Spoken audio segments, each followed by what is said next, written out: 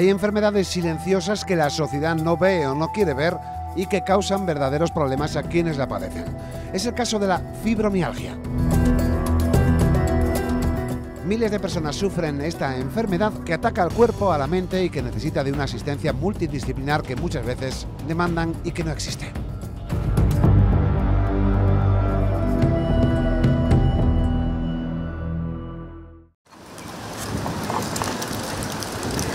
Existe un catálogo de enfermedades para las que hoy por hoy se dice que no existe tratamiento, que son crónicas, que la ciencia no sabe cómo afrontarlas.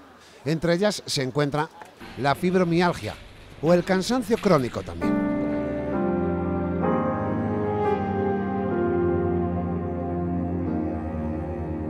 Personas de todas las edades, hombres, mujeres, niños, mayores,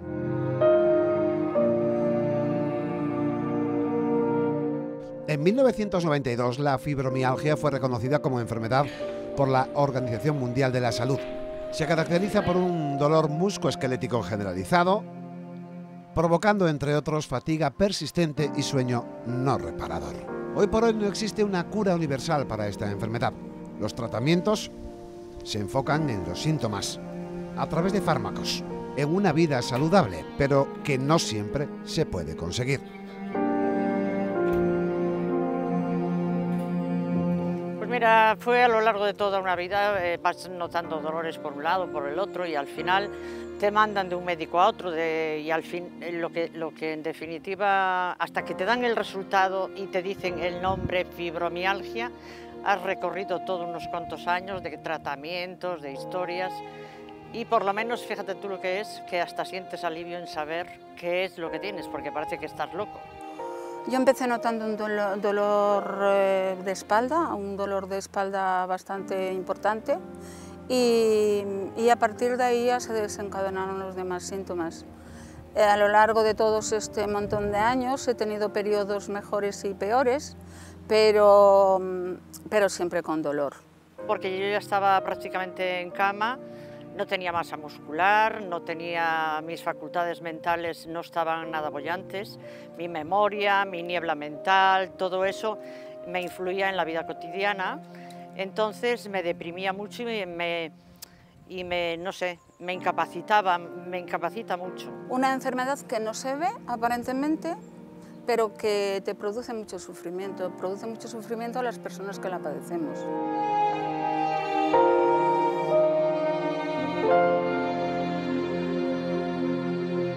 Con motivo del Día Mundial de la Fibromialgia se ha organizado una nueva charla para abordar el presente y el futuro de esta enfermedad y sus soluciones. Una cita en la que profesionales que trabajan con personas que sufren esta enfermedad o dolor crónico han hablado de cuáles son los principales avances, como el novedoso sistema de movimientos oculares. Eh, son terapias basadas en los movimientos oculares que se descubrieron eh, hace muchos años, durante la guerra se observó que había algunas personas que cuando se eh, trataban presionando unos ciertos puntos y se mm, cambiaban los movimientos oculares, se afectaban las vías sensoriales del dolor. Se sabe que todas estas enfermedades mitocondriales tienen una relación con las vías del dolor, se llaman de hipersensibilidad o de amplificación del dolor, porque el mismo dolor para una persona que no tiene estas patologías de fibromialgia o fatiga crónica es un dolor de una intensidad pequeña y para las personas que lo padecen se amplifica. Se sabe que eso se relaciona con la asta, las astas que transmiten los impulsos nerviosos del dolor y que eh, cuando se eh, trata a nivel del globo ocular se puede mejorar esas percepciones del dolor y las percepciones también de la alteración de la sensibilidad. Son terapias muy nuevas que en algunos sitios ya se están haciendo, pero que necesitan mucho más entrenamiento.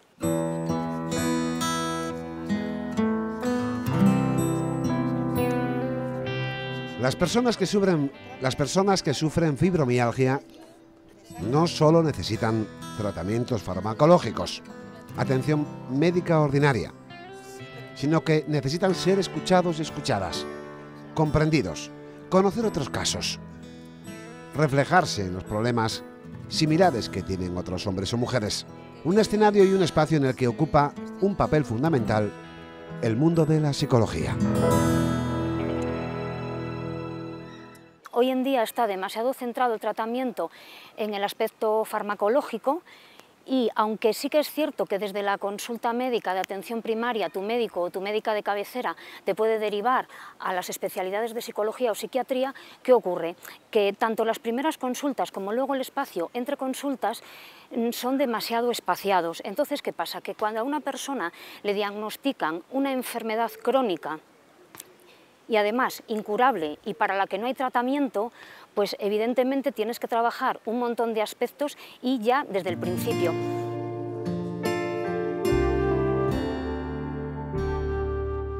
Esta mm, enfermedad tiene además unas peculiaridades, bueno, todas las enfermedades tienen las suyas, pero esta ya empieza con el propio diagnóstico.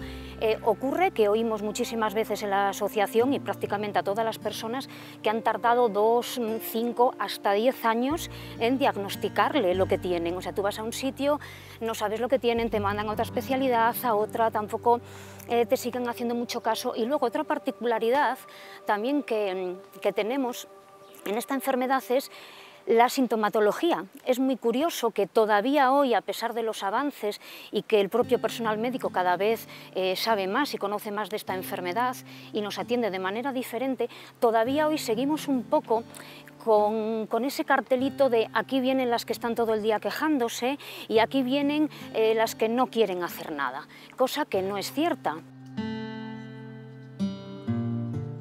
Y ante una enfermedad en la que no se conoce la solución hoy por hoy, uno de los primeros pasos psicológicos es el de la aceptación. Y claro, ¿cómo aceptar algo? Pues eso, que no tiene cura. Y algo sobre todo y quiero que, esto lo quería resaltar mucho, es que la fibromialgia es una enfermedad que afecta a todas las esferas de tu vida. Te afecta físicamente, te afecta psicológicamente, te afecta en el plano de tus relaciones sociales, familiares, sexuales y laborales con las consecuencias que eso trae. Por ejemplo, laboralmente, eh, muchas de las personas diagnosticadas tienen que dejar de trabajar y eso, bueno, trae una serie de repercusiones muy, muy negativas. Cualquier persona que usted vea por la calle puede estar padeciendo esta silenciosa e invisible enfermedad.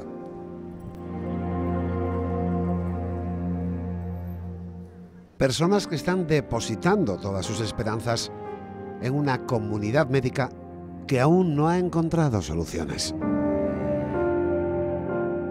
porque parece que nos miran con una cara de bichos raros porque no tienen una solución, o no sé si es que hay, hay, se estará investigando lógicamente, pero llevamos ya desde el año 92 y todavía no tenemos ninguna solución eficaz. Lo único que haces es eh, tú, por tus propios medios, intentar sobrevivir porque luego no solamente es la fatiga, es, ya te digo, eh, el, dolor constante, es como si tuvieras una gripe constantemente día y noche. Que alguien se pueda poner en nuestro cuerpo y piense cómo nos sentimos a pesar del aspecto físico, porque encima, si tú rompes una pierna y llevas una escayola, no tienes nada que justificar, ya se ve. Sin embargo, si nosotros parece que encima tenemos que estar constantemente justificando que estamos enfermos. Y es algo muy deprimente para nosotros, de verdad, porque ya no solamente peleas con tu enfermedad, o sea, estás con tu enfermedad, sino que encima parece que tienes que demostrar que en realidad, en realidad estamos enfermos, ¿no? Cuando realmente lo estamos son invisibles para la sociedad porque no hay eh, marcadores eh, bioquímicos que la definan. Hay veces que vivir con ellas es una pesada carga, ocasionan invalidez en muchos casos también, igual en la diabetes que en la fibromialgia y en la fatiga crónica, pero mm, digamos que como son de curso crónico y largo, no se pueden limitar a un espacio de tiempo, las personas que la padecen tienen que vivir con ella cada día, tienen que luchar contra ella y no pueden estar continuamente diciendo que tienen dolor o que tienen fatiga o que tienen alguna alteración de su estado normal.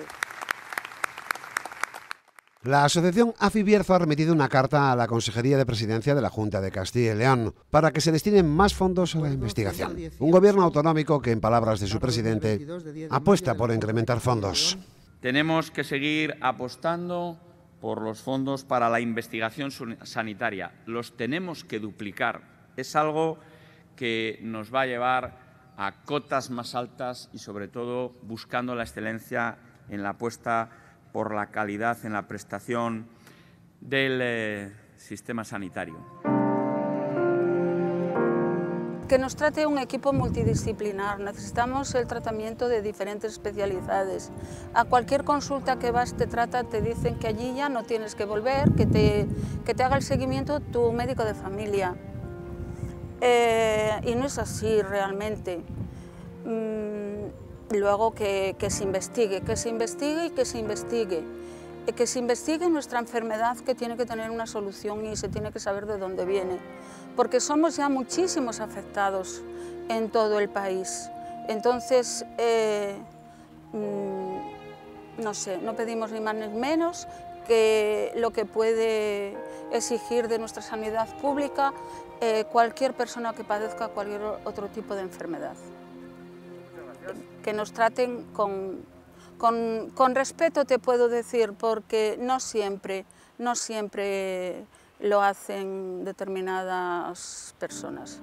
Y también se lo pedimos a la sociedad, que como aparentemente nos ven bien, pues mm, no se terminan de creer que nos afecte de esta manera que nos afecta.